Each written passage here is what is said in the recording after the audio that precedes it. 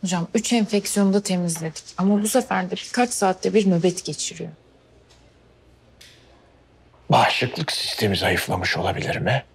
Sanmıyorum hocam. Çünkü lökosit sayısı normal ve HIV testi negatif çıktı. E, peki o zaman neden bağışıklık sistemi zayıflamış gibi yapıyor? Rol mü yapıyor? Hı? Saksı zamanı. Nöbetler bize ne anlatıyor? Belki de hiçbir şey. Tomografi beyinde yapısal bir sorun olmadığını gösterdi. Nörolojik muayenede bir sorun çıkmadı. Elektrolit dengesizliği deseniz o da yok. Olay yeri inceleme. 18 yaşında bir delikanlı ve sebepsiz yere geçirilen epilepsi nöbetleri. Hadi bakalım. Saksılar çalışsın. Travma? Uyuşturucu. Uyuşturucu. Çocuk zamanında uyuşturucu kullanmış. Bu uyuşturucular bağışıklık sistemini mahvetmiş. Ama toksikolojisi temiz. Peki temiz toksikoloji bize ne anlatır? Kanında ve idrarında hali hazırda uyuşturucu madde bulunmadığını anlatır. Zamanında kullandığı uyuşturucular vücudundaki yağ hücrelerinde depolanmış olabilir. Eğer yağ hücrelerinde depolanmışlarsa neden şimdi onu etkilesinler ki? Bu delikanlı yakın zamanlarda sindirim sorunu yaşadı mı? Yaşadı. Ani kilo kaybı yaşadı mı? Yaşadı. Yaşadığı ani kilo kaybı vücudundaki yağ hücrelerini yakıp uyuşturucu maddeleri vücuduna tekrar salmış olabilir. İyi de bunu nasıl anlayacağız ki? Yağ hücrelerine uyuşturucu testi yapmak neredeyse imkansız. Kilo verdirmek, kilo verdirmek imkansız değil. Bir tane daha toksikoloji testi yapabilelim diye. Çocuğu aç mı bırakalım yani bunu mu diyorsunuz? Hocam bakın böyle bir şey bir nöbet daha tetikleyebilir. Ya da yine kalp krizine neden olur. Değil mi? Yazık. Aç bırakmayalım. Günah. Hamam. Ne? Hamam. Hamama gelen Terler. terler. Biz de bu çocuğu terleteceğiz. Vücudundaki yağ hücrelerini yakıp uyuşturucu maddeyi açığa çıkarana kadar yoracağız. Kapito. Hadi bakalım.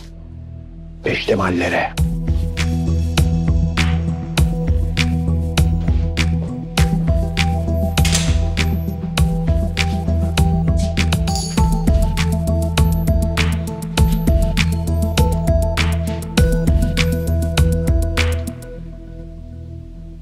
Ailem öldüğünden beri elime hiçbir şey sürmedim. Uyuşturucu maddeler senin düşündüğünden daha fazla kalıyor insan vücudunda. Kaza gecesi polisler olayı anlatmaya geldiğinde de kafam güzeldi. Olayı anlattıklarında ilk tepkim ne oldu biliyor musunuz? Güldüm. Anne babamın ölüm haberi karşısında kahkahalarla güldüm. O günden sonra bıraktım her şeyi. Değiştim. Kardeşlerimin sorumluluğu üstüme kalınca 17 yılda yapamadığımı bir gecede yaptım.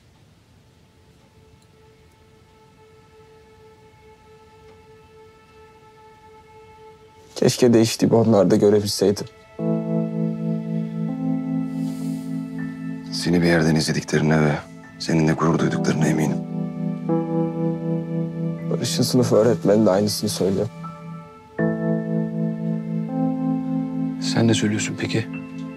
Ben kimim ki? Bir çocuğun ölmüş anne babasının onu sürekli izleyip koruduğum masalını onun elinden alayım ki.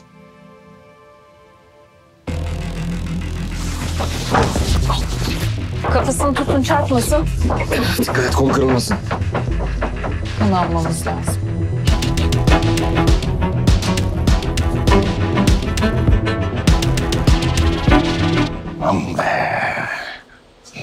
Geçer mi? Hocam. Haberler kötü. Hamama giren terler dolap dere dedim sana. Bak terlemişsin. Durum ciddi. Çocuk yine nöbet geçirdi ama kanı temiz. Uyuşturucudan eser yok. Ne yani tesadüf mü diyorsun? Hamama giriyor, terliyor, nöbet geçiriyor. Öyle mi? Şans eseri mi? Saunaya girse de girmese de birkaç saatte bir nöbet geçiriyor. Abicim ne yapıyorsun? Ha? Bunları bırakalı, insanoğlunun bunları bırakalı bir yüz yıl geçti. Şunu bir dene. Bak bana dönersin sonra. Görüyorsun değil mi halimi? Hem baston hem askı. Aman diyeyim lütfen tamam. Hadi ben kendimi ayarlarım başka bir tane. Geçmiş olsun. Doktor.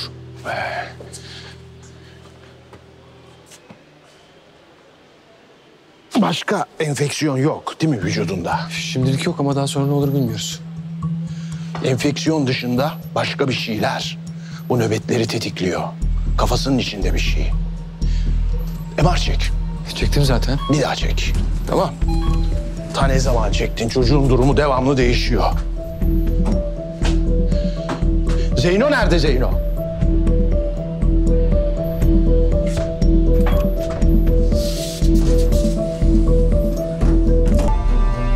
Neden yine beynime bakıyorsunuz? Çünkü nöbetler genellikle nörolojik bir soruna işaret eder.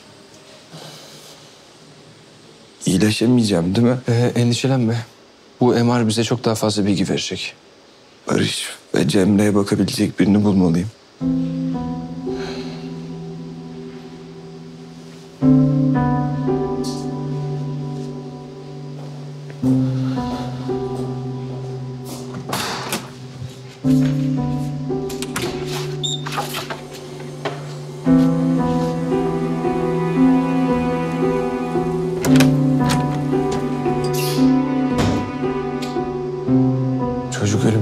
Hastalıkla karşı karşıya.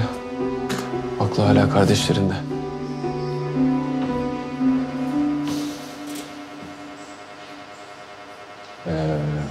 Beyin sapı temiz.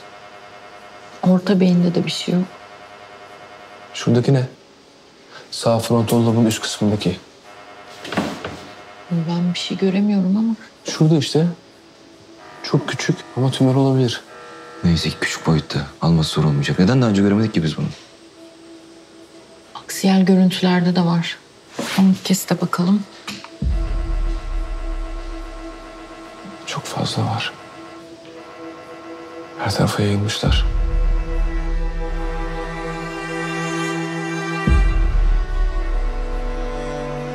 Çocuğun beyni tümörcüklerle dolu. Çocuğa durumu anlatıyorum. Şu an ne yapıyor biliyor musunuz? Hıçkıra hıçkıra ağlıyor. Kardeşi Barış'ın 6. yaş doğum günü için hazırlık yapıyor. Vay be.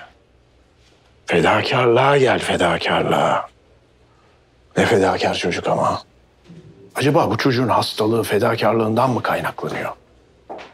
Veyahut da fedakarlık bir hastalık mı? Ve bu çocuk o hastalığa mı kapılmış? Veya sizin başka bir teoriniz varsa onları da dinleyebilirim tabii. Buyurun. Beyin tümörü bağışıklık sistemini yok edip bütün enfeksiyonları vücuduna karşı savunmasız hale getirmiş Nasıl olabilir. bu kadar duyarsız olabiliyorsunuz ha? Nasıl bu kadar duyarsız olabiliyorsunuz? Ya insanların hatalarını, ikiyüzlülüklerini, ne bileyim zayıflıklarını analiz etmekte üstünüze yok. Ama burada çocuk fedakarlık yapıyor. Kardeşi hasta ama çocuk fedakarlık yapıyor. Neden alay ediyorsunuz? Ben tam tersi. Anlamamışsın sen beni. Ben bayıldım. Senin bu adaşı çok sevdim. Çok kafa çocuk. Küçücük çocuklara masal anlatıyor. Onlara efendime söyleyeyim gerçeğin ne kadar önemli olduğunu öğretiyor. Sonra hayatın ne kadar berbat bir şey olduğunu öğretiyor. Tam benlik. Bayıldım bu çocuğa ama sen bence bu durumdan kendini birazcık ayır. Sırf çocuğun adı Mehmet, soyadı acıların çocuğu diye bu kadar empati kurma bu çocukla. Söyleyeyim ben sana. Tamam. Bitti mi? Şimdilik terapi seansımız bitti. O zaman dönelim vakamıza. Tedavi. Radyasyon tedavisine başlayabiliriz. He. Çok iyi. Azıcık kalmış o bağışıklık sistemini de iyice yok edelim diyorsun. Radyasyon çocuğun hayatını kurtarabilir. Ama özveri lazım. Tabii özveri ve ateş hekimoğlu kelimesi bilmiyorum çok uyumlu bir ikili gibi değiller.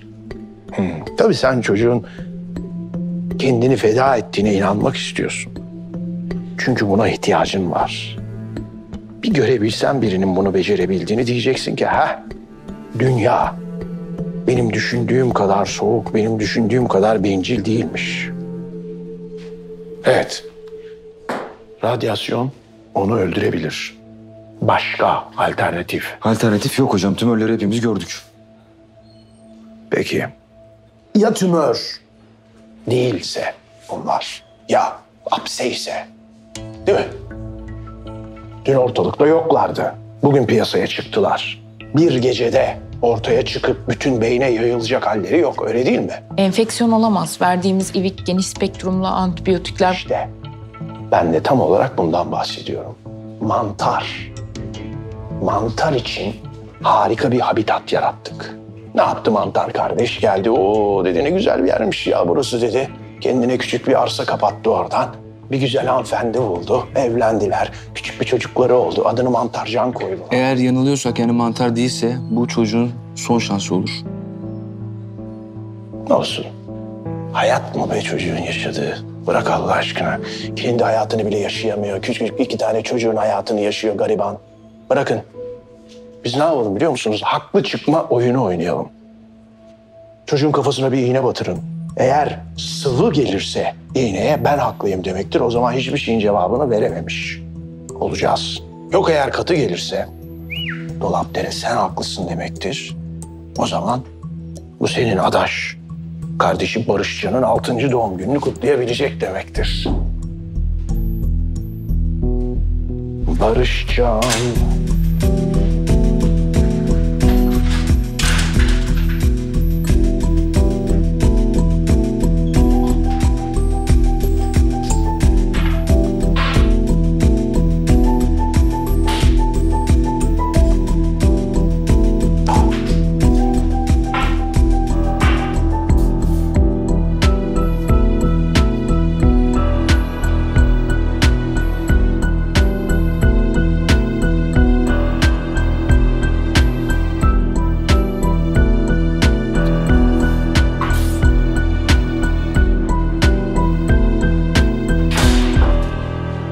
Kanalımıza abone olarak tüm videolardan anında haberdar olabilirsiniz.